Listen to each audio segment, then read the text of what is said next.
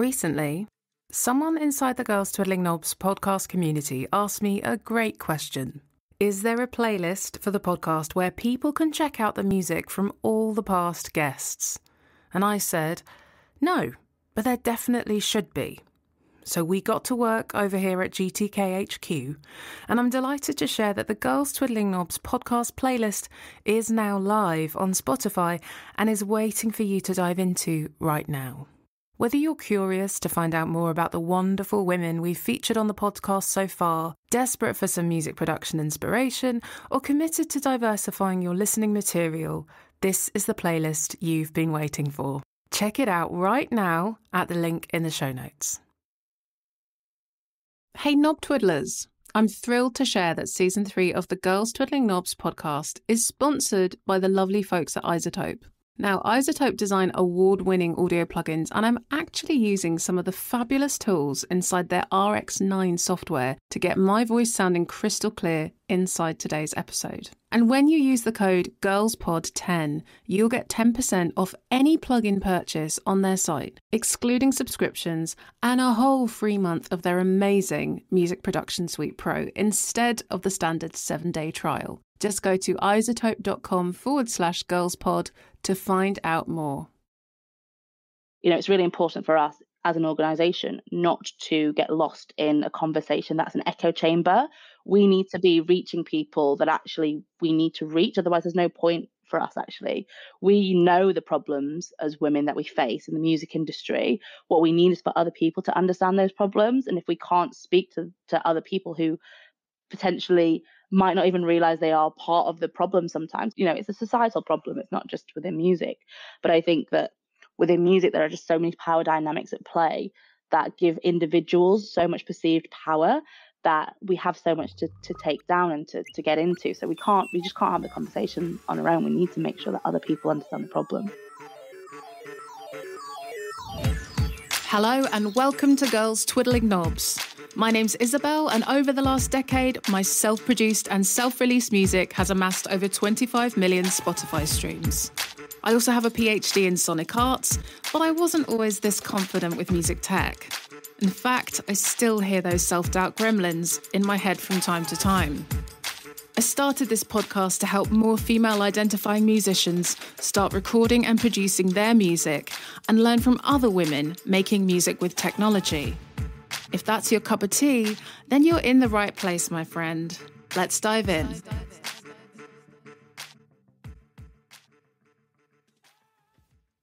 Welcome back to another full fat, no artificial colourings or preservatives episode of Girls Twiddling Knobs. Want sides with that, dear listener? How about a nice big helping of deep fried sage advice on the side too? And knob twiddlers, it's with a heavy heart that I'm bringing you the last episode of season three. I know, didn't season three fly by? And what a season it's been. I mean, the guests have been phenomenal. Whether it be hearing about making house and techno with DJ and producer Emily Nash, designing elaborate sound design systems for Broadway with Jessica Paz, being one of Gary Barlow's in house music producers with Charlie Deacon Davies, or collaborating with Vibrators with Sen and Peerler, we've had some fascinating discussions this season on the podcast. And that's just scratching the surface. I haven't even mentioned our deep dives into imposter syndrome, signal chains, owning the title of music producer, or sound treating your recording space. We have chewed on the big topics too. But before those tears that are building up in your eye sockets actually gain full momentum and hit the cold hard floor beneath you, let me reassure you that Season 4 of the podcast will be with you before the year is out, and boy, do I have a totally engrossing, jam packed guest episode for you today, dear listener. And without giving too much away just yet, something we're touching on today is creating safer spaces for women to get their music recorded in. But maybe you've been thinking about having your own safe recording space at home. Wouldn't that just be the ultimate gift to yourself as a musician?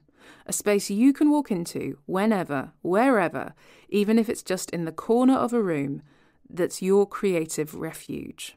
And if that's something you've been inspired to create for yourself after listening to the podcast, you'll have also picked up that I teach the importance of sound treating your space over investing in lots of fancy recording gear when you're just starting off.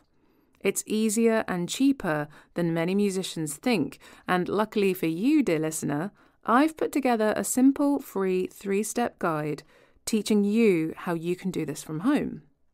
Just head to femalediymusician.com forward slash learn with Isobel to grab yours now and get ready for recordings that will instantly sound more professional, even if you don't have a big budget.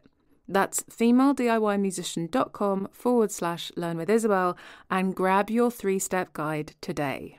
But on with today's episode, Knob Twiddlers. Now, the role of a music manager can be pretty tough.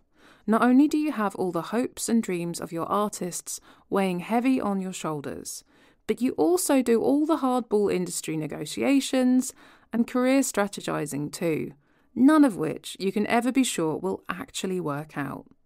But on top of this, today's guest, Vanessa Threadgold, had also faced an even bigger challenge throughout her career as an artist manager how to protect her female artists against studio environments that were, at best, unwelcoming and, at worst, downright exploitative and abusive.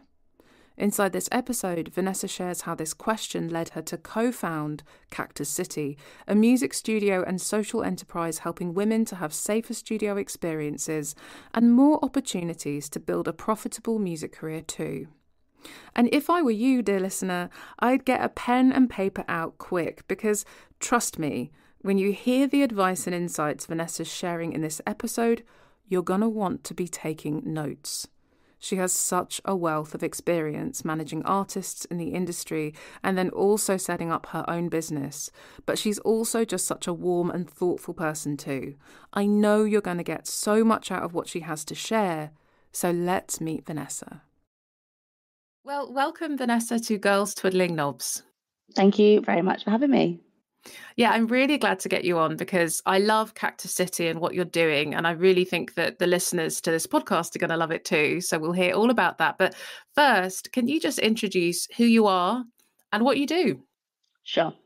So, my name's Vanessa. I founded Cactus City in 2018. It wasn't intentionally a commercial project, actually. It was because I was an artist manager at the time and uh, it was a response to a need that my female clients had. So I've been doing that now for for four years, but in 2020 we founded as an organization. So it was a recording studio initially, and then became an organization which was dedicated to making other spaces safer as well. So yeah, that's what I do.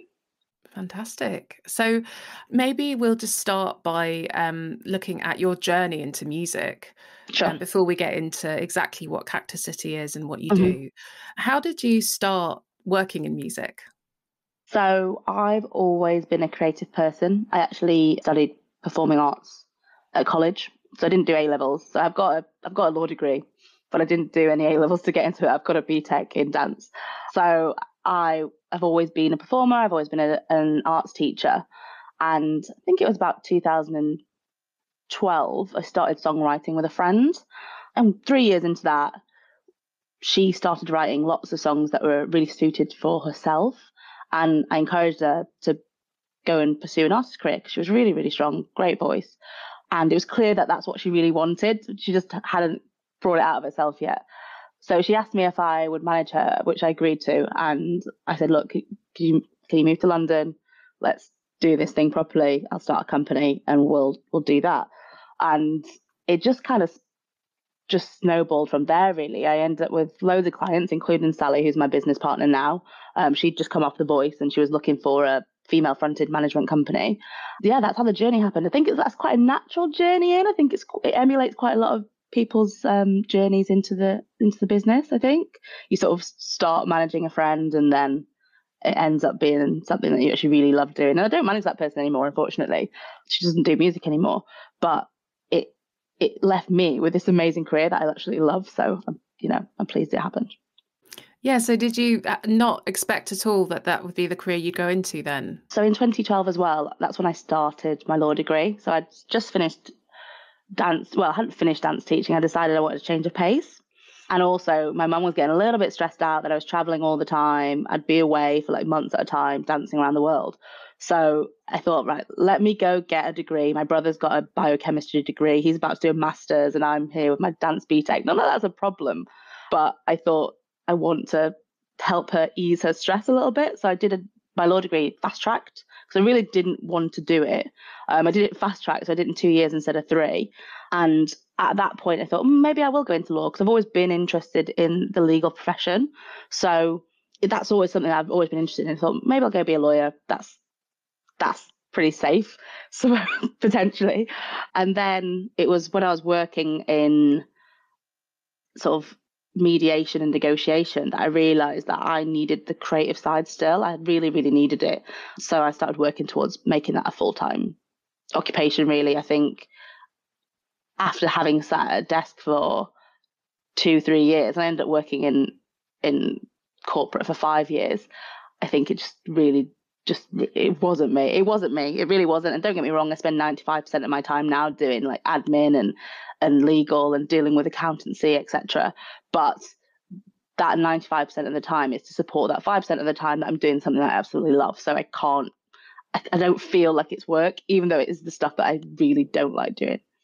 Yeah, no that's really interesting to hear like your journey and and and it just goes to show that people have so many different facets to their personality, their identity, so many passions. And, you know, you can kind of start with dance, move into law, and then end up where you are now. And obviously, you're still young. Mm. And all of those things can work simultaneously and complement each other at different points in your life. I'm sure that there's probably things from your dance um, training that help you now, you know. completely, know. Completely. I think, if anything, that just working with creatives and understanding, you know, how they are. They're generally more um, sensitive than the average member of the population, and and also understanding that you know the how the industry is. Still, the entertainment industry, you work alongside each other, and you had to work in. You know, we, they made us do crew stuff, tech stuff as well, just in case you found yourself out of work. So we had all those other elements of training, and that that really did help. And it really helps with discipline, actually. Yeah you have to yeah, be very very disciplined you have to be really disciplined about keeping mm-hmm. your body okay and you know practicing and making sure everything's working like a singer you know like mm-hmm. a singer would you that's carrying all of the work that you can do as your body mm-hmm. and, and making sure that's in good condition yeah it was the discipline was a lot the, the early classes i was dancing seven days a week sometimes three hours straight um, yeah. just just to do the conditioning so it, it was it was intense and you had to go. I, I mean, I remember I was really, well, not really young. I didn't start dancing until I was 14, actually, and which is quite late. But I really wanted to do it, but my dad didn't want me to because I was academic. He really wanted me to go down an academic route. And his car was once in the garage, and I walked for three miles as like a 14 year old to get to the class for 40 for a 45 minute class to then walk back just because I really wanted to be there. I didn't want to miss my my class, and they cost my dad like five pounds an hour or something. So I didn't want him to be wasting his money either. Um, so you ha- it does really instill that discipline in you, and that helps in business as well because you have to be so disciplined to keep going. Absolutely. And you have to I mean, we were talking before we went on on this call. You have to have that faith, don't you, that you're going to mm-hmm. put resources in the, up front, and you don't know how or when it's going to be paid back. And mm-hmm. the same is true with creativity. You have to put time and energy, and sometimes even finances in, mm-hmm. and you don't know how or when that's going to get paid back. And the other thing I was thinking of, you know, with dancing and performing is having that experience of collaboration and really working as part of a team and, and kind of relying on that team to make something come together and that that must help having that background with what you do now at Cactus City because obviously you're you're part of a team and, and you mm-hmm. have to mm-hmm. make sure that those relationships are, are kind of in uh, are in balance and flowing mm-hmm. and that you can listen and you can respond respectfully and effectively that synergy is so important because it's you know the communication like it is like choreographing something, but that's not always moving at the same time and in the same way. But you still have to have that almost invisible connection with the other members of the team sometimes. So, say we've got um, people working in the, the copy and the, the blog, but then they have to work in synergy with the SEO, they have to work in synergy with social, otherwise, it's not going to it's not going to tie together. And then they also have to work in synergy with the actual projects that we run because the reality is the reason that we have all this, you know, all this marketing is so people can come to us and we can actually help them get into careers where they are paid. That's our end goal and that's our that's our purpose actually as an organization is to make sure that women and gender minorities are supported within the music industry into actual paid careers. And that's that's our main focus is people can monetize early and they can monetize efficiently. So, you know, all those things that we have, we have a great TikTok, but we wouldn't think that that was the end goal based on the TikTok, but that's just to draw people in, and then they have to yeah. be in synergy with the rest of the team and keep moving through the through the body of Cactus City, I guess. So it does, it definitely does help. Yeah, yeah, absolutely. Well, just kind of thinking about your journey through music then before Cactus City, what were the things about managing managing artists and being in that environment as well with other industry professionals what are the things that i that on the one hand really lit you up that you're like wow this is amazing and what were the things that were challenging so it's always the moment when you've got the song I think that is the big moment for me because you can make so many songs and some they're, they're good, but it's when you get that great song that you can listen to over and over again. And when you're in the studio, you just hear it, you know, slight mix, you turn it up a little bit and it starts to come through the monitors and that this is this is the one like we've actually got one here. I think that moment is one of my favorite moments in music. And even if it doesn't come for months because sometimes it doesn't sometimes people hit um lulls that moment really keeps you going. You just can't let go of that moment i don't think. I think and, and i have so many songs as well on my hard drive that the world might never hear because the artist might never release them because they don't want to do music anymore but i get to hear them so i'm like oh, okay, well, at least I get to hear them. I'm okay with that. I, you know, I'd like the world to hear them, but it doesn't always work like that. And also, you get to hear some of the biggest songs in the world way before they come out as well. And you just know how, you know, it's going to be a hit. I actually don't think that it's rocket science knowing when a song's going to be received well, because I think we hear songs, we hear songs on adverts, we hear songs on the radio, and we just know that's going to do well before it's done well, because you can just tell and I think that's the thing that really does light me up with um, the music industry. And then I think the challenges are balancing and helping people balance their mental health. I think as a manager, a lot of the time we spend um, as a counselor and understanding how important that is and trying to counsel artists through these difficult times and get into them to that realization that potentially them having a successful music career won't help that actually can we unpack that a little bit, actually, Vanessa? Because I think there'll be lots of people listening where you've just said something that they they feel inside like, oh, oh, that's me, you know, mm-hmm. or, or that that it, that matters. So let's unpack what that is. So I think I see so many young artists who are you know they are struggling they're struggling with their, their happiness they're struggling with their satisfaction and they see what they think is a successful music career. And when I say that, I mean being famous, having millions of, you know, millions and millions of streams, millions of listeners, doing big, big stages, headlining. They see that as the ultimate success for themselves, winning, winning awards. But one, that's such a, I suppose, old way of looking at stuff. We are now in a space where you can be a very successful independent um, artist. You could potentially be making more profit than people who look like they're doing really, really well. So, one, uh, reframing success is really, really important in people's minds, and it takes time. Especially now, because people are so focused on their stats, people are so focused on constantly doing well, constantly going viral. And we have to really reframe that and say, well, what does that mean? Because are you monetizing that virility? Are you actually getting a core fan base or you're just relying on big numbers. And then also just generally just them understanding that you actually have to work on yourself as well throughout the course of this. And actually driving from a happy place and driving yourself from being happy you're going to do better generally. And you can't reach happiness just by reaching those goals. You that's happiness isn't a destination it is the journey. And if you aren't enjoying the journey you can't guarantee that that end goal is going to then make you happy because it, once you get there, it actually will be a passing moment. It's not forever. Things have to keep coming to to keep adding to that if that's what you're basing your happiness on. So it's tough because people drive from this space of fear. So you have these. I don't know if you've heard of the the drives that the drive centers in your brain, how your brain works. You have your compassion, your drive, and your your fear center. So your compassion is like your soothing center, and that's, that's where a healthy human brain would live and then your unhealthy human brain lives in like this this fear space. And that that fear space is actually a really primitive part of the brain um, which was designed for like running away from i don't know woolly mammoths or whatever.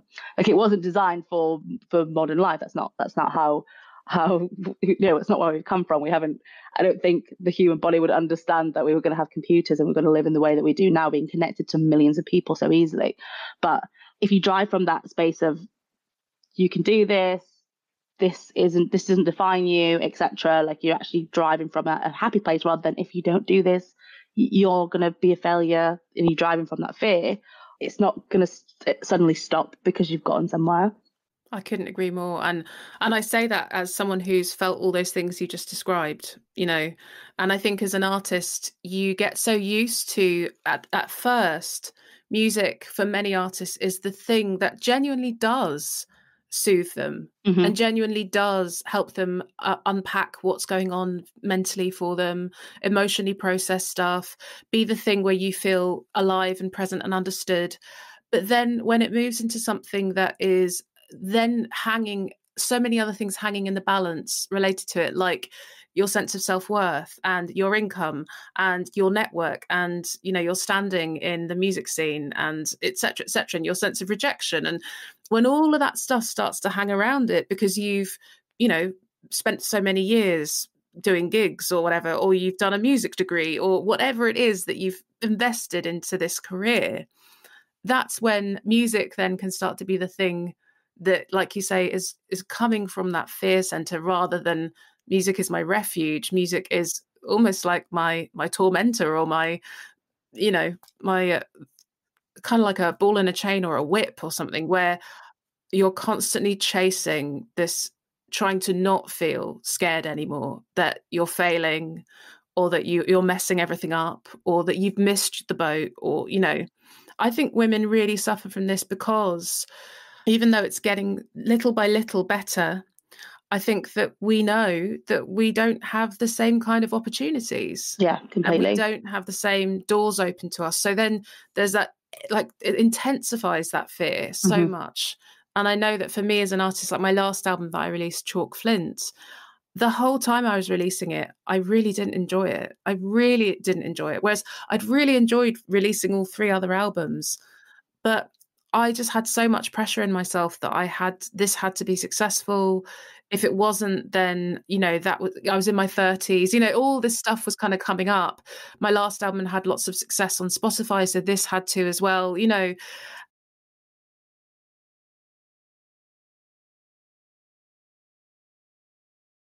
of course absolutely brand new ones every day i think um, one thing i've learned is that if you aren't seeing new problems, it's time for you to replace yourself with someone else and do something new because there should be new problems all the time. Yeah. It becomes almost becomes part of the day to day. And you have to just start to be relaxed actually, because otherwise you will be stressed constantly because yeah. there will be new problems as as things keep getting more and more successful. You come across new problems that you might never have realized would be a problem or could be a problem or even Absolutely. Existed. But I think what you said is really key because what helps with all of that, what helps you become more relaxed, is coming from a place of joy mm, and love. Completely. And compassion completely. rather than fear, which is not easy and it's not a linear route. You're not going to just wake up one morning and decide to do that.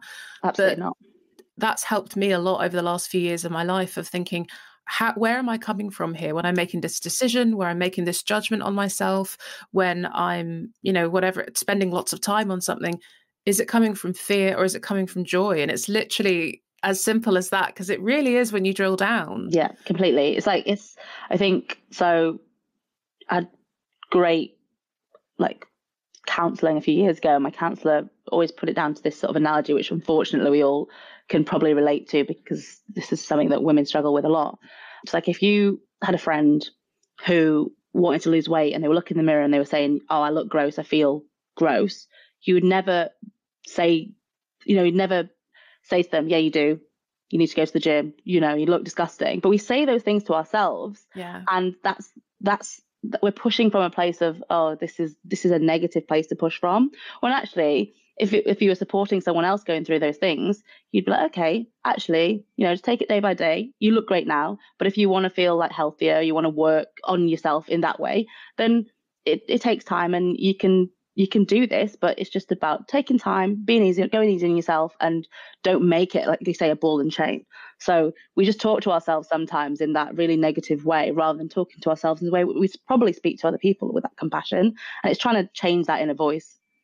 Yeah, and I mean, and we are going off a little bit of a tangent here, but just something you said I thought was really important to pick up on too was that like I I've gone on a real journey with how I think about my weight and my body and my appearance. The whole of my life, I felt too big in my body. Even when I look back at photos of me, and I objectively now at 37 look at the 26 year old Ism, I'm like, Jesus, hell, you were gorgeous. Yeah. Like, what the fuck were you worried about? You yeah. know? I Oh did that a God. lot. Yeah. I was doing. I was like, why am I doing this to myself? Yeah. Like, what Uh, the hell? mm. And, but I started to really, ed, you know, learn more about fat phobia and diet culture and all that kind of stuff. And what it made me realize was that it wasn't just about me not being horrible to myself. You know, it wasn't just about me not saying, oh, Isobel, you're too fat. Oh, Isobel, you're disgustingly large. Oh, look at your massive broad shoulders, blah, blah, blah. It wasn't just me not saying that. It was me questioning whether that was even a problem in the first place. Yeah. You know, because Mhm. the, the thing about me learning a lot more about fat phobia and diet culture is that fat doesn't mean unhealthy. You know, health at every size is a massive movement now, you know. So it's like questioning, no, this is all based on really shallow, really patriarchal ideals of thinness and shrinking women's bodies so they take up less space and they're more defenseless and they're easier to control, basically, and make money out of. This is not about whether you're happy or successful or healthy. And so that was that's very recently for me. I'm 37 and it's only the last year that I've really been getting my head into this. And and that was really helpful to think it's not just about being kinder to yourself, it's also challenging Completely. why you would be being mean to yourself in the first place.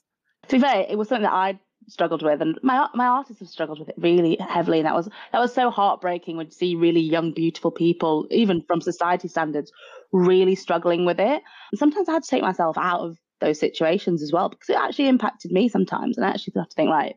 Sometimes I just need to remove myself from this because it's going to going to start impacting me, even though I am doing the work that I need to do to be able to to deal with this.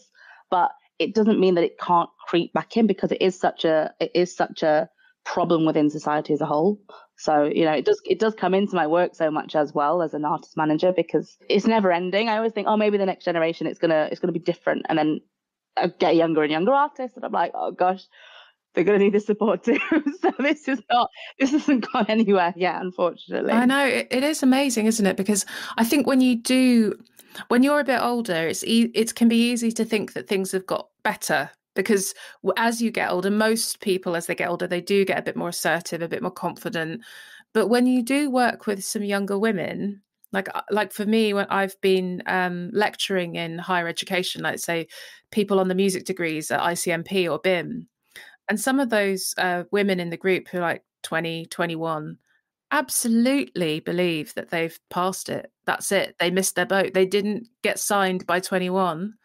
And that's their career, you know, unless they really, really pull something out the bag, that's them done. That's And, and I've been, scary that it's still Yeah. there. It's still so there. And, and I was thinking, wow, I mean, I wasn't at an in- industry college when I was doing my degree. I was at much more of a kind of experimental college, but I, I, my cutoff point was 25, wasn't 21. Well, yeah, I think I think I guess with like TikTok culture and people doing so well so young, that might play into play into that because you can you can do well at any age. At these youngsters on on YouTube are making absolute fortunes of just from opening presents and things. So I do I do understand where they're getting it from, but at the same time, like we need to redefine like what success is, what it means for people to understand that being signed isn't the be all and end all. Actually, that's a, a new risk and a new ball and chain you could potentially be entering into. It might work for you, but actually, it doesn't work for the majority of people who are who are there. So, um, for me, I really like to try and do that early on. Actually, is redefine what a successful music career looks like to a person as much as I can. And it's hard. It's actually a long process. It's it's because you can't just spring that on people because you're challenging their whole ideals of what the world is and then you put them into this existential crisis. So um, that's it's a tough that's a tough part of the job um, but it's one of the reasons why you know with management we don't like to enter into too much of a short term situation with people because actually it can take a while to get people round to that scenario and then work on their long term business plan. Um, so, yeah. you know, if you can't do it over the course of even a year, it does have to be like a couple of years until you get them to turn around to that point most of the time. So, you know, some people grasp it quite quickly, but even then, it's usually after you've been working together for quite some time. So, and then they'll have this like quick realization, but it's not, it's really not a quick, a quick turnaround. And I think a lot of musicians, like by the time they do get into their 30s, like i'm hearing everything that you're saying and like when i when i was in my 30s that's exactly where i'd got you know? So if i started working with a manager in my 30s i'd be and you were saying what you're saying i'm like yes. I don't care how many instagram followers i have i care that i can pay the bills and i care that i can keep doing what i'm doing you know? Whereas when you're 21 that just doesn't make that doesn't mean the same thing you know? Because you don't know you haven't gone through a decade yet of what it means to not have any any backup you know any savings any guarantee you can pay for food the next week you know like well, n- not all i should say not some 21 year olds do know what that yeah, means. yeah mm. and obviously um, it's really important to acknowledge that. Some eight year olds know what that means but but many many people will not know that in the same way you know and and not have experienced that. You know by the time you get to your 30s most people are like no, actually, just give me some security. Yeah, give me give me a music career that's like I can actually just you know nurture my my my music and do it over the long term. I don't care about having a million TikTok TikTok followers. Yeah, you know. completely, completely, and it's um, it is. You know, that's why I do try to introduce it to people as early as I can because once they get there, generally find that they become so much more business savvy and it's actually really important for for us that people understand their own business because the reality is one you might want to take that business elsewhere and you need to understand how it works. You don't have to work with the same people same manager forever. But also so it might happen to me and then what are you going to do if, if you're relying entirely on me to run your business? So yeah. you need to understand how you can delegate that because the reality is an artist or you know songwriter or producer coming to a manager is actually you delegating an element of your your work to someone else. Um, and i also have to be able to teach it to to younger artist managers as well um, and that's something that's really key for me actually, because I spent so long floundering in the dark with no one giving us any guidance and really vague answers to questions that we'd ask. When I want specifics, I need to know specifics. I can't work with, oh, you know, just just keep trying, like you know, all these vague sort of.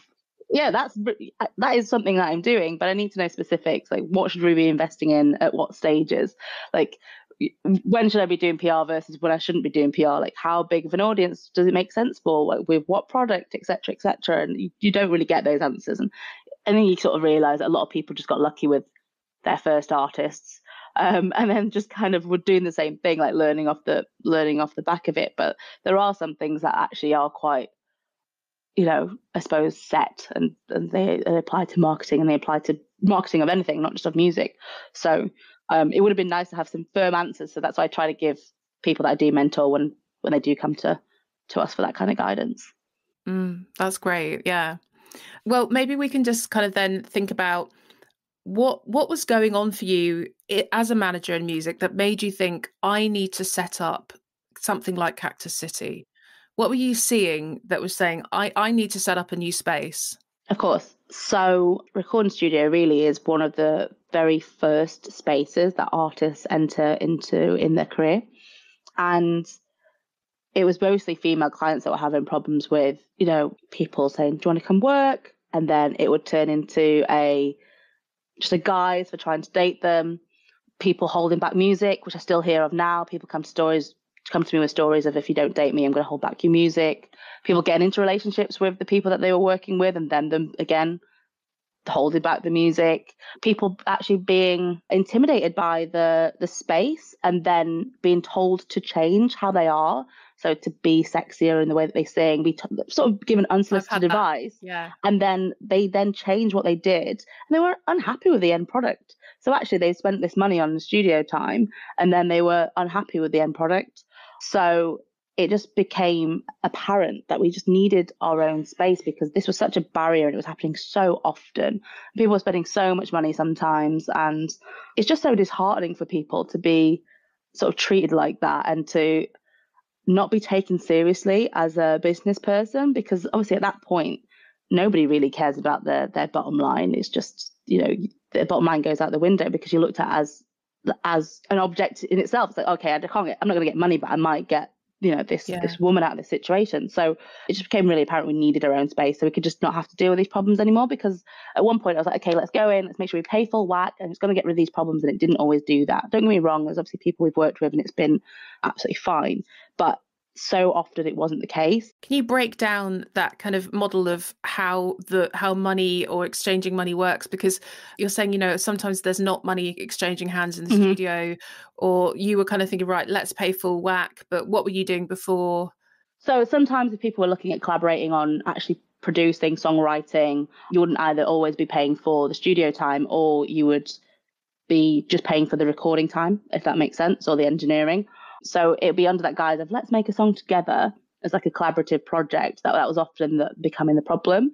So then I thought, okay, if we take at least if we offer to always pay for the session, it can try and take back that power dynamic. And that was really my mindset. I was like, make sure you pay for the session. One, because you want to make sure that you own the masters and the stems and and these things, and you have control over the session. But two, it gives you some personal that power. It takes that back. That really was my my intention with that that kind of like mindsets. Like we need to try and find a way to take control over this situation as best as we can. I think it's really good that you kind of break that down because I know there'll be listeners who have experienced one or many kind of types of that spectrum because it is like a spectrum you know you have where you pay full whack for every single hour of that person's time mm-hmm. and you own the masters and you own the stems and that means that you know you have the master rights etc etc but then you have all the other end of the spectrum where you've paid for nothing and like you say you know then you're in a very vulnerable position mm-hmm. depending on who you're working with but it could be in the middle where you're paying for half of the time mm-hmm. and the other half of the time is like a favor because they're getting some credits or yeah they're co-writing it or something like that and and the idea is that they will see that return back in the future if the song does well and that's just the gamble you always take with music and you know so it's good to kind of break that down for people i think because like you were saying people like as from a manager perspective a lot of musicians that you're not taught that mm-hmm. you just kind of you get approached maybe by a product producer friend or maybe you approach a studio and they you know they tell you right we'll do this this and this and you don't know that there's actually all these different options and that these different options and choices will then mean potentially different compromises and that there's other ways you can do it as well. And unfortunately those compromises are what leads to those pitfalls of yeah. well we'll hold this back because we can. And i think it is important just to know from a business perspective because you need to know what, what it is you're creating how much control you're going to have over the end product as well um, is really important. So that is what led us to to start it. And i think it's really interesting because we work with a lot of um, male producers, cis male producers, straight, and at first some of them didn't understand why we were creating such a sort of I suppose feminine space. I googled heavily as well, by the way, to try to find some inspiration, and there was nothing.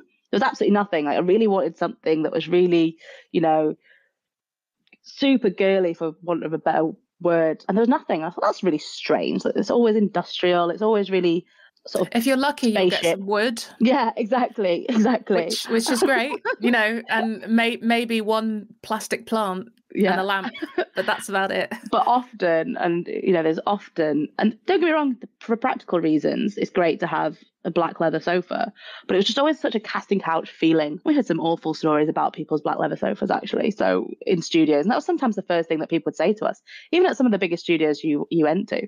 So these were just really horrible scenarios. You're really setting yourself up with that that vibe when you go in, into a space where you're actually meant to be creatively free and you want to feel free to to create so one of my long-term collaborative, you know, partners, Wolf, he works on a lot of our sound. He said that he didn't realize that when he was inviting people to work with him and they were sometimes coming to his home studio, that he was having this sort of half hour, almost like a dance where people were trying to figure him out to see if he was actually being genuine and if the reasons that they'd invited, he'd asked them to come work on stuff was for you know genuine reasons and whether it was to make music or not and then it took them a while to actually get into the flow of a session Whereas once he was working out of Cactus City, people would come to the space, realize the space was designed for them, be able to get straight into the session. We used to have slippers that people could have, They'd kick the shoes off, get a pair of slippers, get, get wrapped up in one of the many blankets that'd be around, and they'd just be able to just start writing because they'd be like, oh, this is this is a space that's been made for me and I've been thought of. So we can now just get straight into to working. And he didn't realize that that was a problem until he saw the result of doing something different.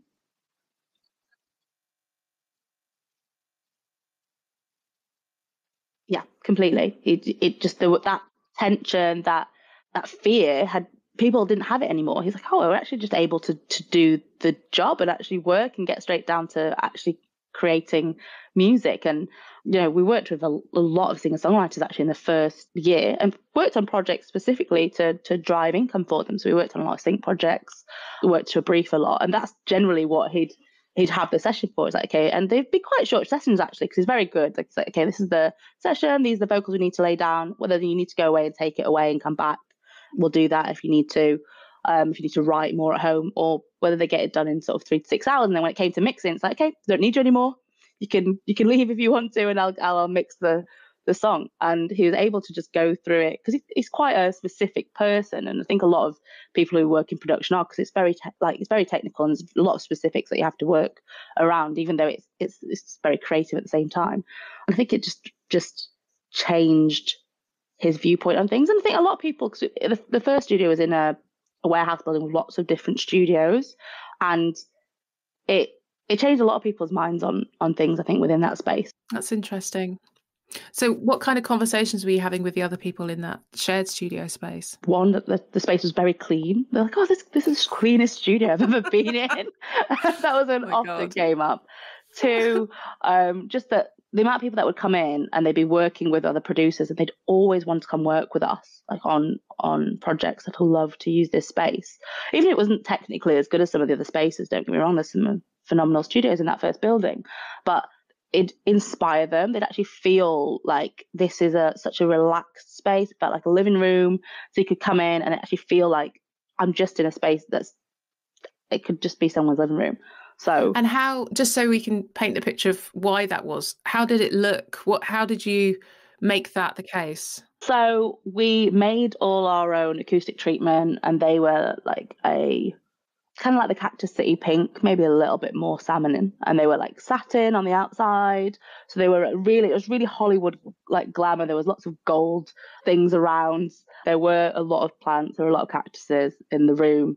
A nice like textured wall rug, uh, pink sofa, bean bags.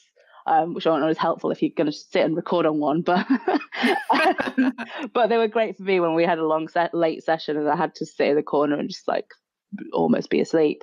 Books, pictures of amazingly brilliant women in the music industry would be around as well, all over the place. So it was just, it was quite eclectic, but it just felt like it felt like a living room. It felt, you know, cozy. We had warm lighting rather than having like cold colored lighting. That was really key for me actually, because I think those lights that are sort of too blue uh, just don't. They're not a nice. It's not a nice feeling. You want to feel like nurtured, I suppose, in a space like where you're creating and being vulnerable. And that was one thing that really came out of it actually. When men used the space, they were felt that they were able to be more vulnerable with the music that they made, which was nice.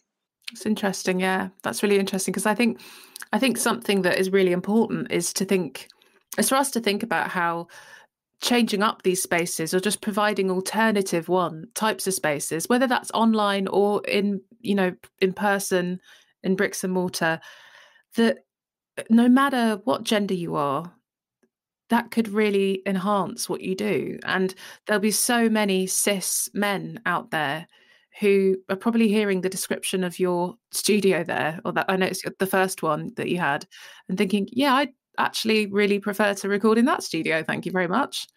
Mm-hmm. And that's it. You can't, like I say, we try not to gender things, but it's just it's just a, a way to describe things. I think, but it did.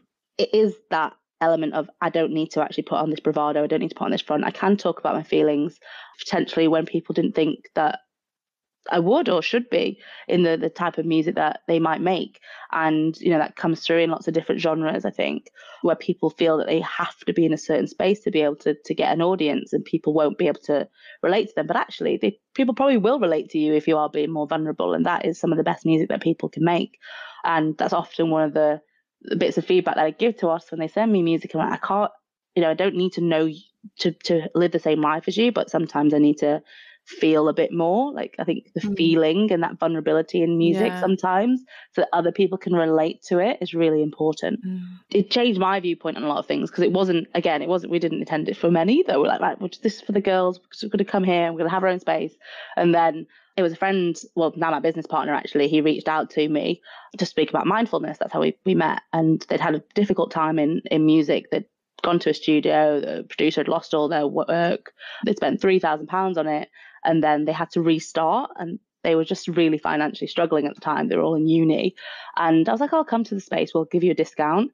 And it was like, oh, we've got all these like rappers rolling through, like, and they're all like six foot something. And we're like, this this wasn't what we thought was going to be the case, but whatever. And they ended up really liking it, ended up being their favorite space that they've ever used and still is now. So it really opened my mind to things because I wasn't even thinking like that because all my clients were women actually at the time, so I wasn't even thinking about it from a from a man's perspective. But I think you know it's really important for us as an organization not to get lost in a conversation that's an echo chamber we need to be reaching people that actually we need to reach. Otherwise, there's no point for us actually. We know the problems as women that we face in the music industry. What we need is for other people to understand those problems. And if we can't speak to, to other people who potentially might not even realize they are part of the problem sometimes because most people actually aren't malicious most people aren't doing things that they realize is a as an issue i think you know, I've visited so many studios where I was the only woman in the group of um, the team, and people don't say hello to me, and they don't say goodbye to me either.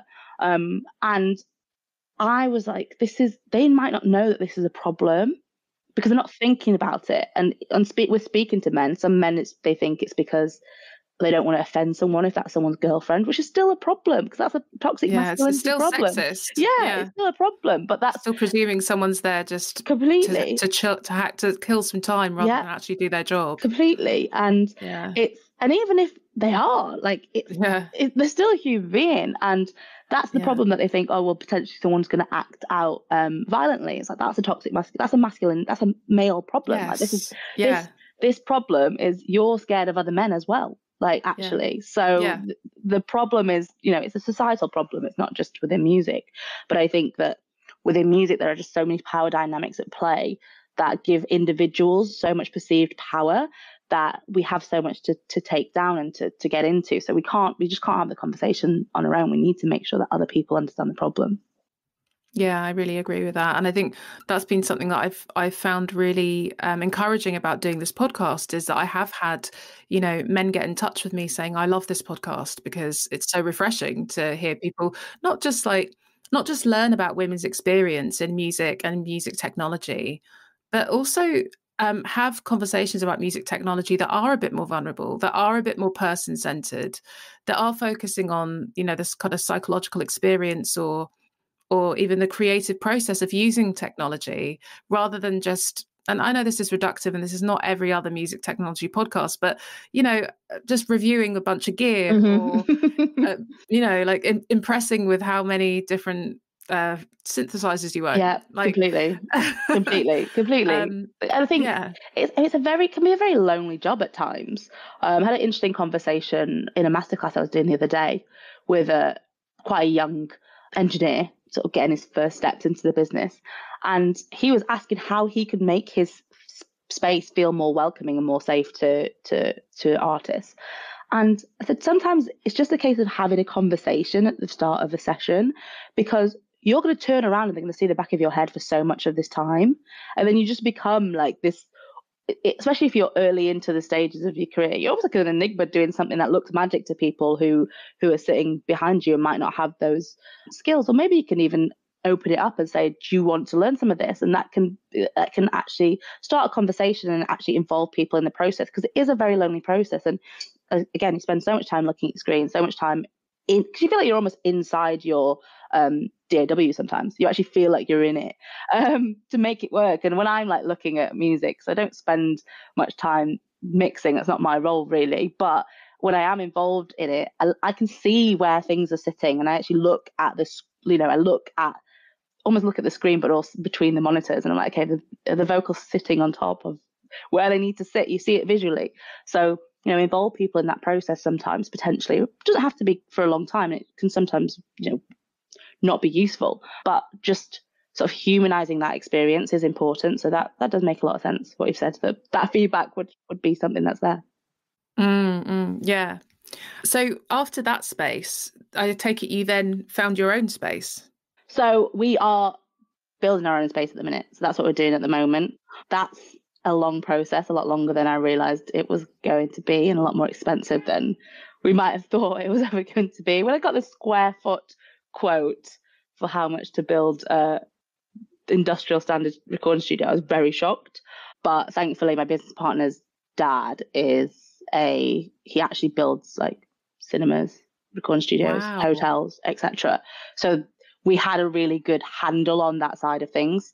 So that's currently what we're doing now. But we are we're sort of in between two sites, so it's not not fully committed. And unfortunately, it actually could be a very, very, very long term project now. But I've realised. Yeah. Um, yeah.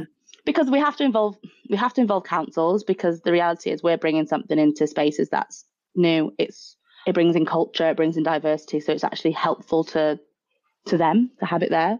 Um, so it's actually been a big, much bigger project than we ever thought it would be. But we still have our own sort of smaller spaces that are I suppose, our own because we still have to work on music. So we do have smaller spaces, but they're not the commercial space yet.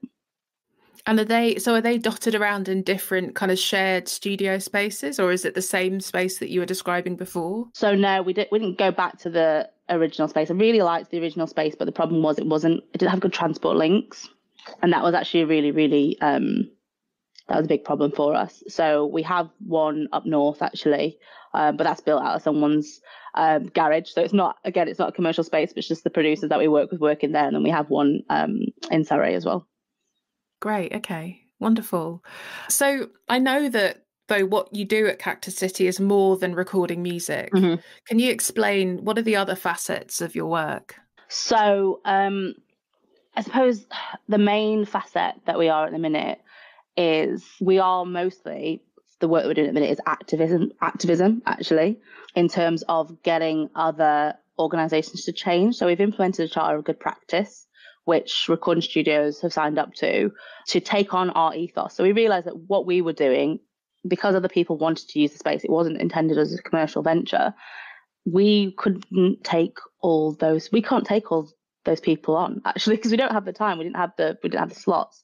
So and we also can't be everywhere at once. So we thought, how can we be everywhere at once? Well, we can actually create our ethos and say to other spaces, look, if you sign up to this this charter of good practice, this ethos, actually it's going to impact your bottom line because people know that you're going to adhere to, you know, being better or not even being better, or it's just thinking about their best practice. They actually care about it, and you can say that we care about it, even if it was things they were doing before. Just being able to commit to it is is something. So that became our main focus last year, and it's still actually one of our main focuses looking at getting studios to sign up to the charter. At the moment, what we're working on is actually getting the studios onto the, the site so people are able to book via us if they want to. So they'll be able to idea, book yeah. sessions via us and they're able to then obviously give feedback if they want to. And we welcome positive feedback as well. Like it's not just for people to say, well, we've had a negative experience. We actually want to hear that people are doing a good job and what that what that sounds like and what that looks like. So we're able to recommend spaces to people and actually be able to do that from a genuine perspective because it's really important for us that we're actually giving genuine recommendations. We're not sending people to places where we think um, potential detriment could come to them. So our work at the moment is that's our main thing and then we're looking at um, doing some sync projects this year and actually bringing people in to learn how to create dynamic music different versions of music trailer music because it's something that they can get paid in quite early and actually a lot of publishers are looking for more diverse rosters they actually have such male heavy production rosters that they've actually approached us and said, look, will you be able, you able to help us with this? So that's one thing that we're working on as well this year. Um, and then we, we have events now, um, which we always make sure artists get paid. That's really key for us. Um, yeah. Make sure that everyone who's working at the event gets paid. So the first event that we had in November, we actually ended up hiring some people who came to the event because they said, "How can we volunteer for you? We really want to work here. Like, could we be a volunteer?" I was like, "Well, no, you can't because we don't have any volunteers. Everyone who works here gets paid because that's the whole point of what we're doing. We want people to actually have mm. careers in music to understand that actually that economic. So we talk about this a lot, um, and we spoke about it in on our in our International Women's Day speech about the economic factor and the economic threat of not having an income or being blacklisted is actually where the power dynamics lie. And that that problem is then something that everyone can face. It's not just something that women face. It's something that if you threaten people with a loss of income, they're going to be complicit in things that potentially shouldn't happen. And because there's all these perceived individual power dynamics within the music industry, people are really scared of that. They're really scared of, oh, I'm not going to work again. I'm not going to be able to, to do this. And as we know from the stats, the majority of people in the music industry aren't getting paid. They're just working for free. They're just working, hoping they'll make a living. Um, and off the back of the pandemic, it's, it's gotten worse. So it's it's an industry where people are pretending they're actually getting paid when they're not because they don't want to seem like things are doing badly. So there's smoke and mirrors at every level. So that's another thing that we do. We want to dispel the myths and the economics because actually that's that's really key for us. I think getting paid people deserve to be paid. It's important. It's important for their lives. It's important for their, their value and their self worth. Um, but also, we we can't let that that um, that go on. We can't have this culture of people working for so long for free for experience, etc. Don't get me wrong. You have to work hard. You really do have to work hard, and it's a competitive industry, and it's not going to change.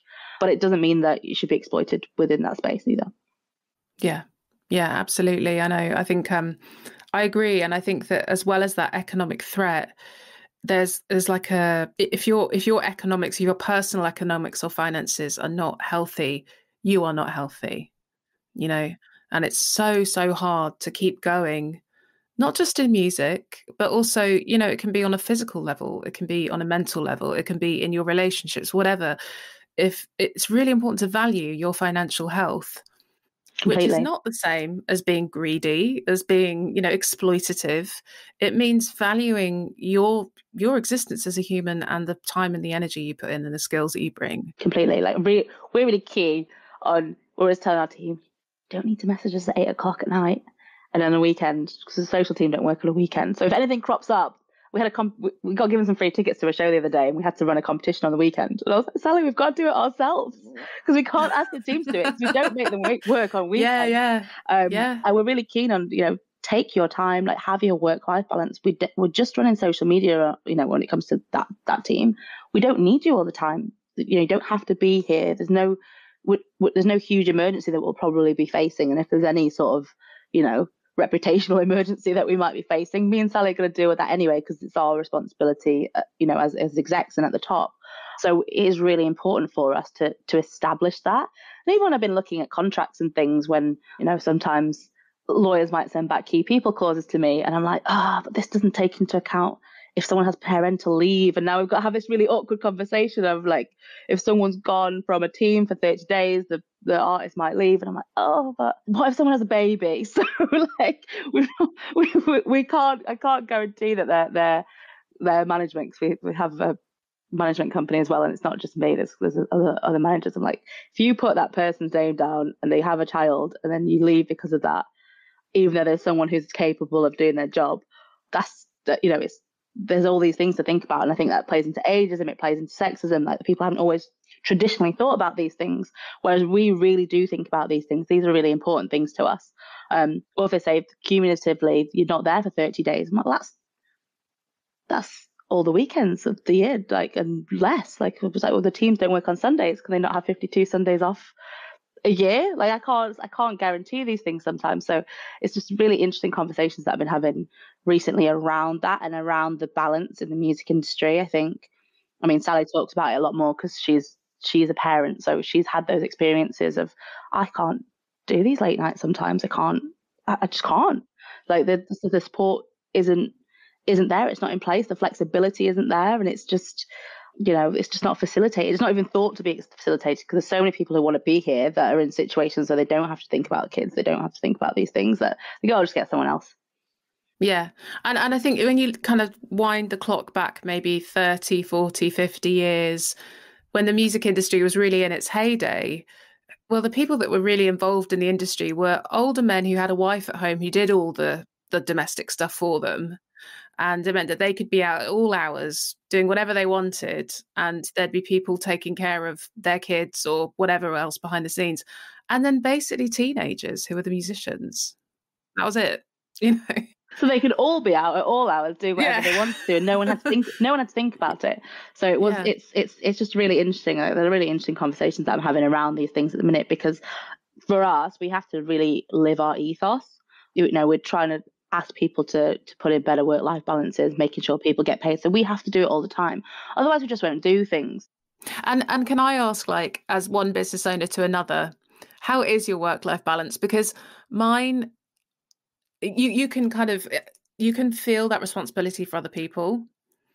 But you know i know that i go through phases where i i'm just like god my brain is constantly fried because i'm constantly on my phone and i'm constantly on my laptop and i just don't feel like there's even an hour in any day whether it's the weekend or not where i can't be on call you know completely and even on call is like me being curious about oh, I wonder if anyone's commented on that post. And I'll be like, Jesus Christ, Isobel, but because it's your baby, you're just in it all the time. Completely, completely. I think, I mean, I think, I think, I think having a team has at least removed me from that side of things. Like, I'll, I, I don't, I mean, I have a set way the voice of the company has to be and things that we say and things that we don't say.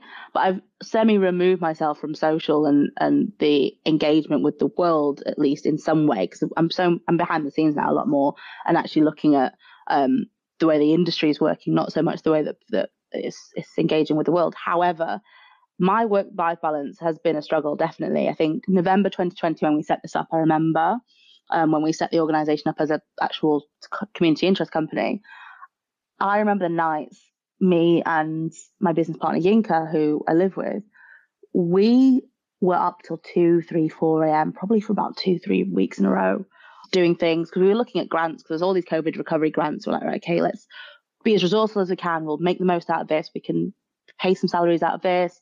We had all these these, these plans, but it, that in, that involved doing a lot of of legwork, a lot of admin, and a lot of research into things that we'd never done before. We'd never done pensions, we'd never done PAYE, we'd never done any of this stuff. So we ha- we had to to look into it, and we had to adhere to certain timelines. I was looking at um, investment, so I was looking at how um, SITR worked, which was uh, it's the social investment um, tax relief scheme, which is like SEIS, which is for sort of more corporate entities. So SITR for like charities and community interest companies to raise funds.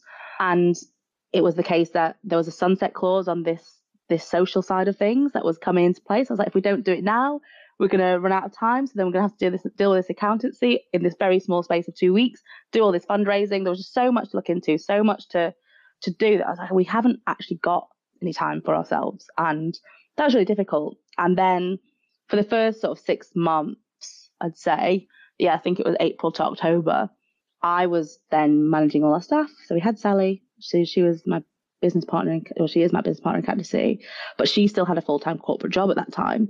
So I was managing her marketing team, and she was just kind of dictating to me how that worked. So I had absolutely no work life balance. So still having to do all the behind the scenes. Um, she came on board in October, and then again, it was still the case. I still had so much to do. I've got Sally now; she can help manage the group, but I've still got so much to do. And it was the beginning of this year that I said, I can't live like this actually. And I spoke to um, my PA, so I'd got a PA at this point, and I said to her that, and my cleaner had quit, and she'd literally held my sanity in her hands. My cleaner, because she used to come every morning, every Monday. She was great with the dogs. Um, mm. She'd just get it done in three hours, and then she'd, because we were working from home, it feel like the, the house was refreshed for the week ahead. So it was it was a real real hold on my sanity that I don't think she realised that she had. That is what I need. That's what I need because it's just bonkers. Like I work from home why it just feels ridiculous mm-hmm. that I would need a cleaner, but I need a cleaner. Yeah, completely. Like, you're buying your own time back. That's what that's what you're doing, unfortunately. And you know, my cleaner's really well paid. Like I wouldn't think, oh, you know, this is so I can make more money. No, it's so I can I can't, I don't have the time to do this. I'd love to do it. I actually really enjoy cleaning, in fact. Yeah, me just too. don't yeah. have the time to do it because a Monday morning, especially, is a really important time for me. But at the same time, I need to feel like I'm in a clear environment to get Monday mornings cracking the way they need to go. So, um, yeah, so I'd lost my cleaner. I'm like, this is just terrible. And I just spoke to my PA and I said, you know what we need to do? We need to work in a different way. I can't squeeze in time for myself as the last resort. I need to put that in as the first thing. Otherwise, I'm going to keep struggling with burnout. I'm not going to, I'm going to feel stressed. And at the minute, I don't feel stressed and I actually have so much to do. And I think it's because yesterday I took, even though I've been all over the place this week, we've had multiple events. I've been in Manchester, come back down yesterday. I had a UN Women this week to chat to their Safe Spaces Roundtable. We've had that many events, I can't even remember what's actually happened this week. It's been so hectic. And you, and I've had payroll to run yesterday for the last time. And that's always, that usually stresses me out a bit. And I was like, it's been so hectic this week. I thought I'd be really stressed. And then I'd booked in some spa time yesterday. And I usually do that after feeling stressed. I thought, no, I'm going to do it ahead of feeling stressed so that I don't have, I'm not going for recovery. I'm going because I want to be there. So I do that now, like once a month. Like I'll book in like a little treat for myself. So at least I've got that there and rather than going as recovery, because I was in like, you know, three months of work too hard, I need to go make myself feel a bit better. I do it because it's something that's nice that I've got for myself. And then I started booking ballet in as my first first thing. So I'm a really creative person, but I don't get time for creative and that, that was making me sad for a while. So I thought, how can I do something that's creative but I don't have to it doesn't have to be something that I carry on. So, you know, if you're working on music, it's usually something that you have to keep going with and carry on and finish. Otherwise you've just you know, you've had a session and it feels wasted.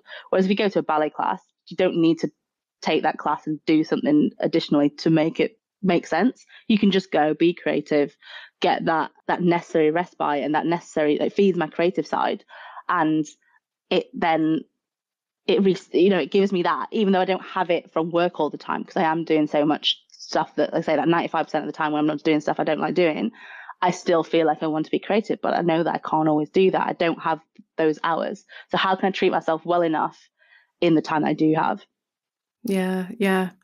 I think that's really good advice to everyone listening because I know there'll be people listening. They're like, Isobel, I don't have the money to to do a spa day once a month or whatever. I don't even have the money to do a ballet class. But what people can do, though, you know, is is make sure that they timetable in some self care, and that might be a walk, that might be a bath, that might be just some time on their own, not doing anything.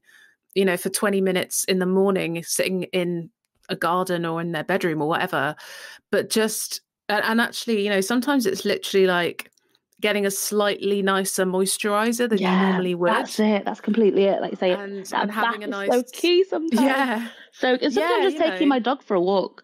Um, more often in the day than I usually would. That's actually a big one for me. And another thing that I've been doing lately is rather because sometimes I'd you know uh, use it as a crutch. I'd reach for a bottle of bottle of wine in the evening and have a glass because I'd like okay, oh that's a stress relief. The stress is gone that one glass of wine, then sometimes that one glass of wine can turn into a bottle of wine. So what I've been doing is just finding a fragrance, like an essential oil like that I like, and using just just a scent actually to just try and relax. It's so powerful, and it's one of the things that like, I mean, I I don't go to. I, I'm like you in that if I go to a spa, I will relax, and so I I, I don't go to the spa a lot. I don't have one near me and I don't have a car. So it's kind of, you know, and and I and I yeah I can't afford to go all the time, but I got a really good deal on a spa holiday for me and my boyfriend for our anniversary, we went away for three nights. And we spent two full afternoons just in the swimming pool, sauna, steam room, and the smell is amazing. And and it's a bit like what you're saying. Like I booked it months ago, just because I was like, well, let's do something nice for our anniversary. I, I, like I say, it was a really good deal as well. I was like, it, let's just do it but what the time that it came is has been a really busy time. And it was really good for me because i just got that little respite of okay i'm going to stop. And even though i'm having to work weekends around this so that i can go i am having that time where i am just totally tuning out of all of this. But but the reason I'm talking about it as well is because I remember walking into the spa and just immediately getting hit by that smell. And that smell is as relaxing as me taking that first gulp of wine or whatever. You know, and obviously you can have smells and wine, mm-hmm, um, mm-hmm. depending on how you're feeling. But um, but yeah, like on a day-to-day basis or a week by week basis, there are some really simple things that you can do that will really um, just help you prioritize. And I like what you're saying about you book that in first, you timetable that in first, because otherwise, you know, all the other hours in the day are going to get booked up with other stuff. Mm-hmm. Mm-hmm. So it's so really so important. so quick that that happens. Like my my, you know, my time now has just become people. My phone never stops actually now. Like I've got I've I've I've had to start turning it off at weekends. I've had no choice but to turn it off at weekends. Otherwise, it, it would never ever ever stop and and is that like is that uh, notifications from social media or is that people texting you or messaging you saying how do you do this thing what's going on about that deadline it's it's mostly people actually um like you say like asking for help. Um, and, because I'm like they're just asking for help and I'm like fair enough. I'm probably able to help in some way or at least you know divert people sometimes but I need to stop for myself otherwise like, I'm not able to do that. Like and that's a big part of my job is actually facilitating. Like I'm a facilitator. That's what that's what you know an artist manager is. That's really what we do with the Cactus City we're trying to facilitate people's careers. So my role that is my the core core role that I have, despite all these other things that go around it. That is my core role. So people look to me for that quite a lot. And it's it feels like such a big burden and a big responsibility. And sometimes I need to just be able to step away from that and take responsibility for myself. So and it is that turn off, that turn off that I get when I'm at the spot. I had to replicate that, as you say, without being there. With, I might have to replicate that at home. So if I am in a bath, make sure my phone's nowhere near me because it's so easy to reach for your phone when you're in the bath. And I just try and leave it away because it's I think you're always forced to turn off when you go somewhere that you know if you go on holiday the first couple of days it's it can be okay I'm still in work mode. And then you're forced to switch off. It just happens. And that switch off is so important. I really like to take Christmas off as well. Like I don't like to I, I always make sure I'm not cooking at Christmas because it's like I'm not cooking at Christmas. I've worked really hard. This isn't I'm not doing it. Like I'm absolutely not. Yeah. this is my day these are my days off. These are very rare days off that I get but I've had to I've just had to start putting it in as a as a priority because otherwise it and it sometimes it's one of those things where yesterday was meant to be my day off fully, but I was like, oh, but I actually have to do have to make sure the team gets paid because that's actually very important yeah, to make sure people yeah. get paid. Um, so it's one of the things where it's my day off technically, but I've got this meeting and I've got this other thing to do. So is it really my day off? It isn't really. So it, I have to have to have to find a way to at least switch off my brain because it it's just it would never it would never stop. But it's it's just hard. It's it's hard. I was in the spa yesterday getting massage, thinking, why am I thinking about what I'm thinking about? I'm thinking about the pensions and how they need to get fixed. And it, know, why is it happening? why is it happening? and then for an hour I, I mean, switch off. But then it was just like, why is the I've still got half an hour of this awful thought. It's just so just terrible. Yeah. No, I, I totally I can totally relate to all of that. And I'll be like, I'll be really tired by like nine o'clock in the evening. I'll go up to bed, I'll get into bed and I'll be, you know, nodding off to sleep and then i'll start thinking about oh but if i move that podcast episode round to that date then that means that person's got that release and i can move that person up to here you know and you're like why it, it's just that there's so many moving parts when you're that person that's kind of holding all this stuff together. And obviously i now have over 300 students that have gone through my online course for example that's amazing. and then which is amazing but you know i will i, I want to you know I, I, know that my students will look to me a lot of the time for help and for advice and so um and then there's obviously the podcast and then there's obviously the social media and it, there's just so many layers of like holding everything together and then then then there's obviously you know reopening the doors for home recording academy and etc etc so and then new kind of new things will come up like um like this season's being sponsored by iZotope who make you know really good production software. And that's great but then that's like a whole other job of like getting that all sorted out getting the contract ready at the um, that I just hadn't predicted. Yes, completely. Oh, completely, you know, completely. when just... we're dealing with American companies and we have to go through the um, W8 Ben 9 form or whatever it's called, I'm just like, I have no idea what I'm doing this form. And it's like, we're just just trying to get paid, but we can't until we've filled out these tax forms. So like, yeah. all these things yeah. you just don't think is going to happen. It's like, oh yes, we've got this great sponsorship.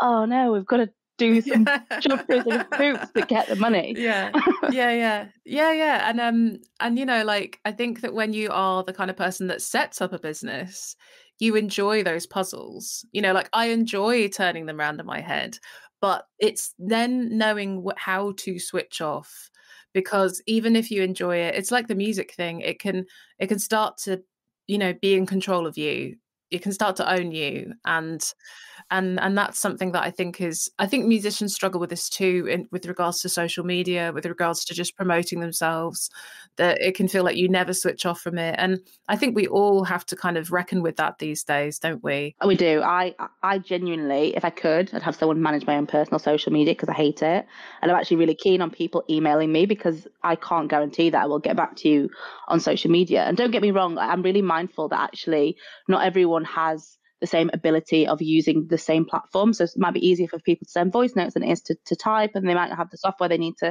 to convert things around. So I do try to to come around to other people's um, needs, but at the same time, I still have to balance my own. And sometimes I think I'm going to get on top of that stuff and you know put out information in regards to my most frequently asked questions, do I need to start making um, content that I can refer people to actually? Because then it's going to save me some time. Yeah, it's going to be a bit of effort in the first instance. But if people keep coming to me for the same things, I can like, well, you can refer to this. And then if you have any questions off the back of that, hopefully that answers things. But if you have any questions off the back of that, then you can come thing, to me. if this in any way makes you feel better for not doing that yet, Vanessa, Uh, what I can tell you is when you do that, then you get even more people mm. asking you questions about it. So, I bet, I bet, I bet, I yeah, bet. I can so, imagine. I completely can imagine. Which is all good because obviously, like I, I've put many things out, and I and I want people. That's the whole point of my business is to be educating more women, and you know. But but the, but the reality is, I'm sure if you put out some information, you would get more more people coming to you. So Oh yeah, I think eventually, potentially, consultancy will be on the cards, but not just yet. I think you know, I see a lot of coaches, and I think some of the coaches do some brilliant jobs. But I think, and people have said to me, "Oh, you'd be a great coach," but I'm not done what I want to. I'm not achieved what I want to achieve yet. I want to get all the important. way through. I want to get all the way through, so I can actually genuinely guide people um, with these difficult, difficult. I'm doing it with Sally now at the minute because this is her first ever, her first ever own business actually. Like i've done it for years and it's kind of nice because sometimes she'll be struggling with things. I think mm, i just need to let her get to yes, get to her own yeah. realization and just having that patience is something that i've had to learn as a as a, a business owner and a business partner. Thinking she's not there yet and actually her getting there isn't something I can push her into. She needs to get there herself because I had to get there myself. But she's got you know she's got extra guidance to to come along. Um, but it's just really interesting to to see someone else going through it the same things now.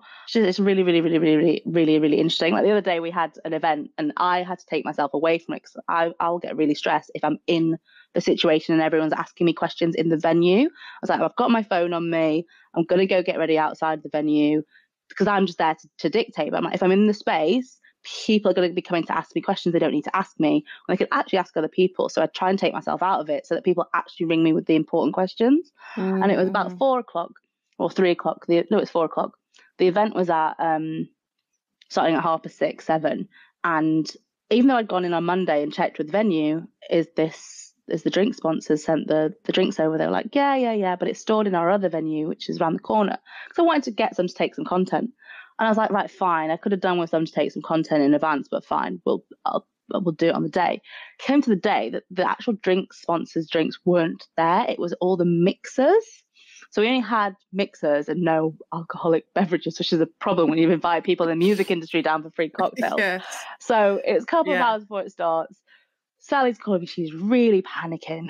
I was like, I mean, there's a there's a solution, Sal. Just speak, just speak to the bar manager.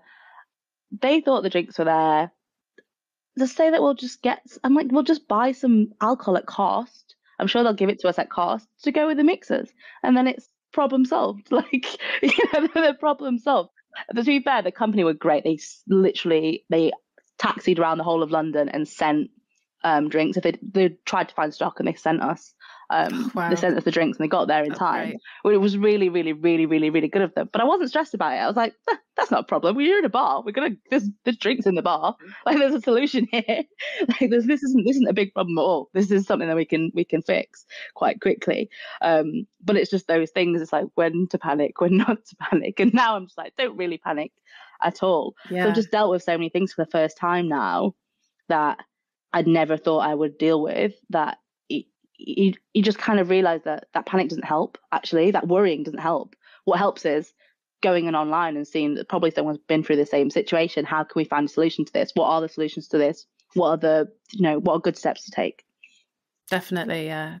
Yeah definitely. And i i just that little example that you gave is a really good example of kind of be having the having thinking that is open enough that you're not just focused on this one thing that we had planned hasn't mm. happened mm. you know and just being able to immediately in that moment say well where else is alcohol in the world? Yeah. Oh, right there at the bar. Yeah. You know, just, yeah, exactly. because you know it's it's easy to get really focused on. Oh no, this thing's gone wrong, and it's not how I planned it. And now that that's gone wrong, I'm going to panic because everything else might go wrong, or you know but being able to I, I, think it's a good lesson for anyone especially musicians um, you know because it could be about a, a launch that you're mm-hmm. doing it could be about a release it could be about even just collaborating of like right how else can I go work around this? What have I got in front of me? You know, it's like being resourceful. This thing hasn't worked out, but what do I have to hand? How can I get this Completely. off the ground? I think at release as well, it's very, very, very key, actually, that lesson, because so much goes wrong at release because you can't guarantee things going to be received the way you want to. Sometimes even actually your ads don't get cleared and you don't know why. You know, if you say if you've got a, a video and you thought it was absolutely fine, you've done all the right things, you've made sure that it's it's clean, you've done this, that, whatever, and then it'll be completely something obscure that you wouldn't have thought about that that stops something from from taking off. So you can you can face these problems and think, I thought I'd prepared for these problems and I, and I absolutely haven't. And that might mean re-editing a video completely, which we didn't have, yeah. you weren't planned for. But, you know, do you waste the product or do you, do you, do you do something new? And that's, it feels like it's not smooth, but the reality is you, not everything is smooth. And I think, I think release is a really stressful time for a lot of artists. I noticed, I really, really noticed that, um, because they just, it doesn't feel natural to them. So, you know, those are the times we actually have to be very flexible uh, not too flexible that you stop focusing on yeah. it, but just flexible enough that you kind of are willing to be open minded. It's um yeah. I think it's it's a different way of thinking where rather than getting so attached to the plan, it's working towards an end goal and just making whatever making use of whatever you have to get to that end goal. Mm-hmm completely you know, and and that means that you can you have to have some kind of plan to get to the end goal but if that any part of that plan doesn't work out you can just quickly find something else mm-hmm. Mm-hmm. Sometimes it's not quick, you know, but you you find another way of getting to that end goal. That's the most important thing. Not that the, you follow through in the plan, not that the plan works, not that the plan goes to plan. Yeah, exactly. Get to the end goal. Exactly. Yeah. You might not have got the pre-saves you wanted, but then you might, you know, you might end up getting a really good Shazam Day or something. I don't know. It could. There's yeah. so many different things that could happen. You might get played in a really, really cool place and like hundred people Shazam it in one venue. Yeah. Um, and these are the, you know, these are things you can't plan for that. You've got no idea that that could happen. So you know, it's you kind of have to, to, I suppose, tick off the even the good things that have happened that aren't aren't in the plan. Um, but it is hard, and I think, I think I do see artists struggle with that a lot. Actually, that taking that um that release, I think release is a really, really difficult time. So just just not being so hard on yourself then, please. yeah, yeah. And, and I was wondering actually just for, on some advice for artists. I know that you know you said something you're really passionate about is helping artists to start monetizing their music. Do you have a, a good tip for maybe it's a mindset shift, maybe it's a practical step they can take to start that process of monetizing their music? So I think just in terms of general knowledge, like it might seem really straightforward, but often people don't understand their publishing. They don't understand the, the, the administrative side. They will either just sign up to um, a publisher without signing up to a royalties collection site, thinking that it's the same thing. Um, so actually, just getting on top of all those sides of things, and I notice that a lot. I notice pe- people have been in music for years and have no idea how to get their royalties collected. And some of the stories that I've heard recently, you won't believe some of the artists who've lost out on years of their royalties because at, at really big points in their careers because they didn't know that they that they needed an administrator to, to, to actually mm-hmm. deal mm-hmm. with them. Um, so it's just it's just speaking to I, I suppose having a chat not always with a manager. You don't need a manager actually, because um, if they're taking twenty percent of not much or nothing, you probably don't need a manager yet. You need to build a business for someone to come in and help manage at a point where you can't manage anymore. But maybe having a chat with a a, a good consultant on actually looking at the different streams because there are so many different streams of revenue and then working on the things that you like first and building that to a good point so whether that be a creator fund, whether that be um, you know looking at YouTube, are you good at videos? Whether that be are you good at creating you know creating beats? Could you get good at production? Like actually working on skills that you have and focusing on those because you can't do everything. You'll never be able to do everything. But if you can find that one thing that you are good at and you can monetize that and it doesn't compromise the person that you are as an artist, um, then then then use that to build a business. You can always shift it to the place you want to be. I think one big thing for me is that a lot of artists and producers are really focused on the, the, the exact thing they want. So they have like this this absolute top of the pyramid goal. And rather than putting work into the other things that they can do, which they don't see as their ideal goal, um, but they could bring the money in earlier. They really just put all their time and energy into that really high risk often thing rather than saying, oh, actually, you know, I could do a bit of songwriting here. I could maybe work on some sync projects here. You can get an alias actually as a producer. Um, you don't have to use your name. You can use a, a, a or songwriter. You can use a different name. So you know when you sign up to to a PRS or whatever, you can have three names actually in different CAE numbers. Um, and a lot of people don't know that, and that's why they don't do it. They're like, oh, it's compromising my brand. I don't want to do this kind of music. So, well, actually, if you're really good at that and people want it from you, why not? If you know, you don't have to put your brand on it. Um, yeah. And it's just finding those other things that you're good at, and people, you know, provide value in some way, shape, or form, and you'll just build the support underneath the the the pyramid that you need for that top goal. Um, and it'll make it easier to get there because once you start monetizing earlier, you have more momentum. So rather than like looking at this really, really like really lofty goal that's far away and really ambitious and can cost a lot of money to to get to, start looking at the things where you can be in music and be monetizing earlier. I think that's my, my main tip. And that's my main tip for all my artists as well. Actually, when I when I first start working with them, I'm like, if you want to leave your day job, because a lot of them come to that's a lot a lot of people come to me and say, I want to leave my day job. Fine, but it's unlikely that you're going to do it for this very quickly yeah. in the way Just the for world releasing works. your yeah, first exactly, album. Yeah, completely. Yeah, uh, you know, once the first time I saw a hundred dollars or more come through in a streaming check, I was like, this is amazing. First time I saw a thousand dollars come through in a year, I was like, this is amazing. Like, because it's that, it's that, yeah. it's that hard to get to those numbers. Yeah. Um. Yeah. So you know, it's it takes a long time, and you can't just do it off the back of that. So you just have to think, what actually can I do? And sometimes that means thinking of thinking of product. Can I you know, have I got, can I sell to people, my, the people in my fans? Can I actually put on shows? Can I do live? Like, can am I capable of, of putting on an event for other artists that that gives them value? So actually, just thinking of the other things that you do have skills in that can to support that, but not taking you away from the music industry that you love so much. Um, you know, if you hate your retail job, then you have to identify the skills you have and the gaps in your skill set to be able to come out of your retail job if you really, really, really are. I hate my job. I don't want to be in it anymore. I want to do this. Well, fine. That's you, but you have you have to do it. It isn't going to be easy, but you do have to reflect on yourself. Think, what do I need to do to make this happen? And you have to be realistic. Um, all those things that you want to do are possible. Otherwise, it would never have happened to anyone. But it doesn't mean that you know it's going to happen overnight and it doesn't mean that someone else can wave a magic wand and make it happen for you because even some of the best execs the best managers the best marketers can't make something work if it's just not going to work uh, it's, it's, it's no one's fault actually at all like sometimes there are people at fault when there's you know untoward things happen. But the majority of time, people actually do want good, people want good things for people generally, and people want good things to happen to good people. So you know, it's it's it's about identifying the things within you that you can do to to take yourself forward and just understand that you can't always take well you will never probably be able to take yourself out of the business entirely.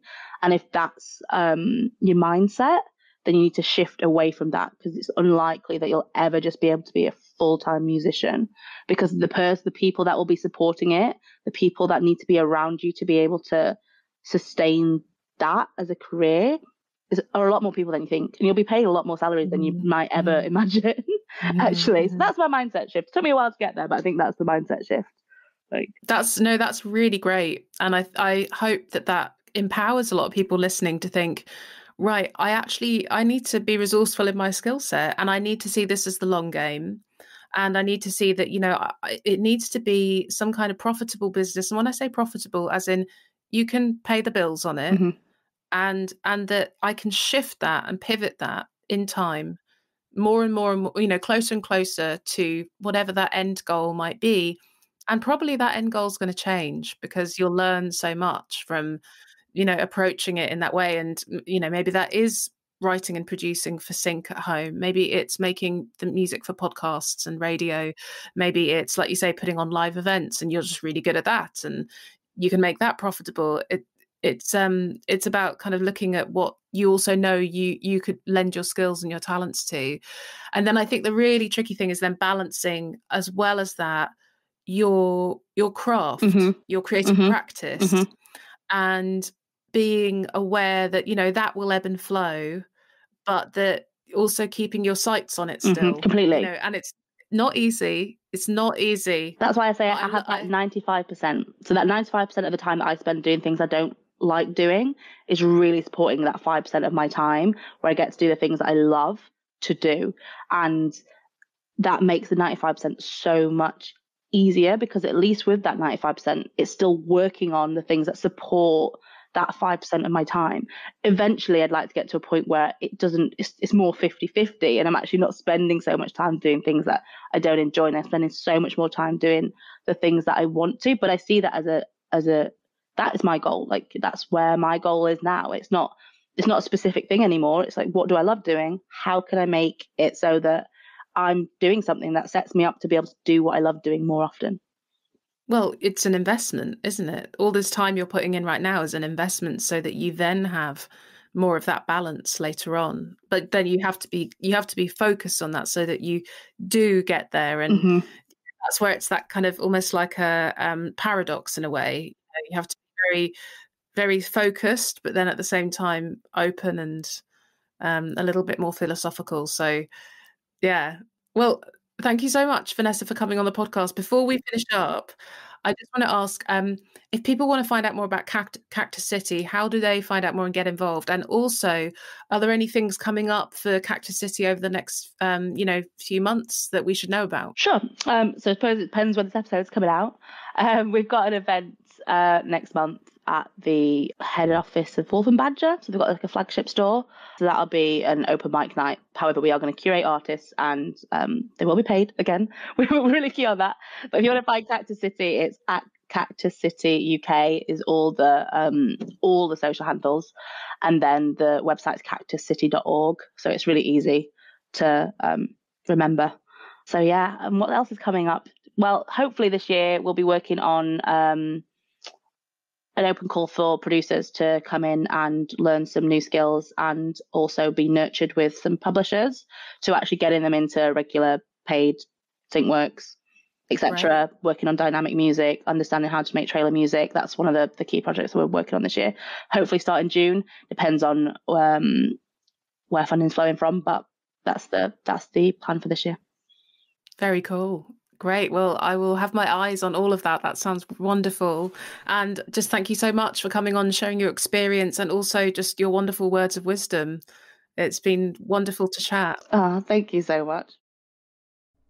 Okay, full disclosure, dear listener, I could talk to Vanessa all day.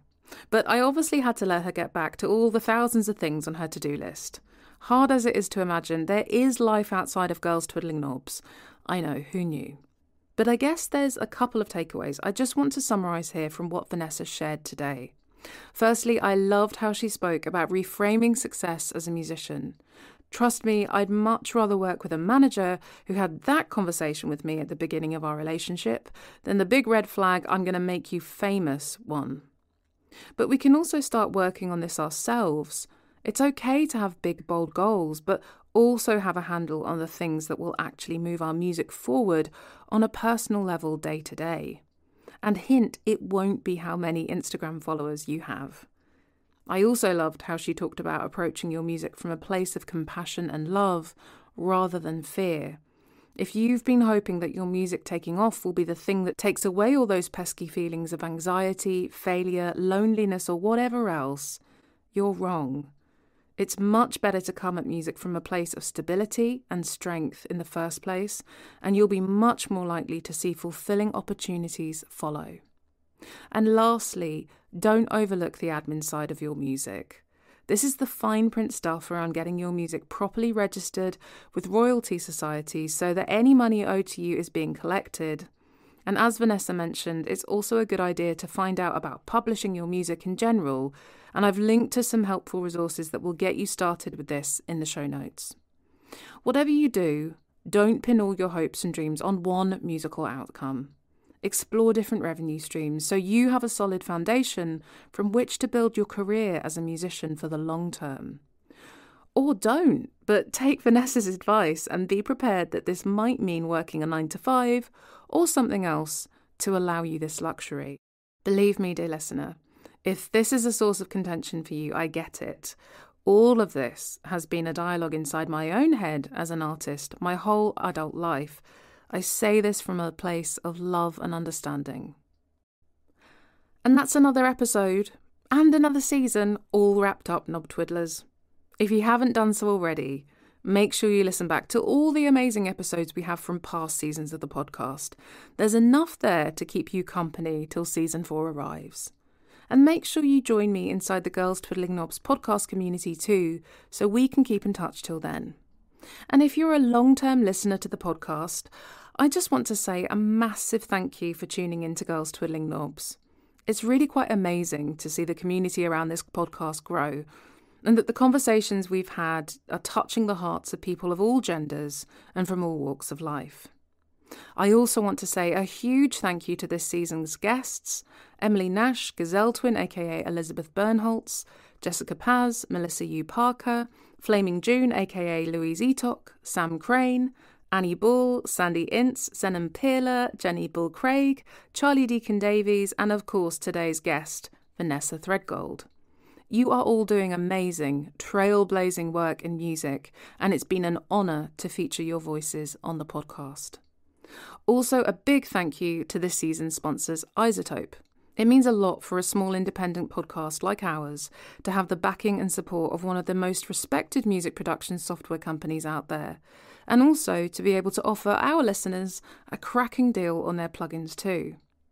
Thank you also to Jade Bailey, the podcast's assistant producer, without whom I would struggle under the pure weight of creating, editing, and delivering each episode.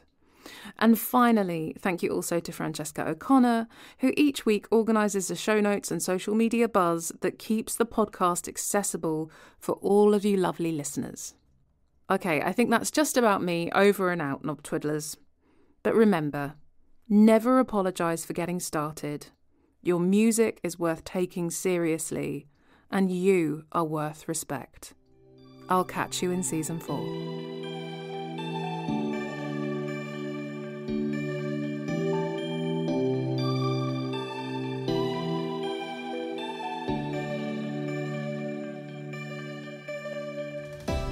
Girls Twiddling Knobs is hosted and produced by me, Isobel Anderson, with production support from Jade Bailey. The show notes are compiled by Francesca O'Connor, and this is a female DIY musician production.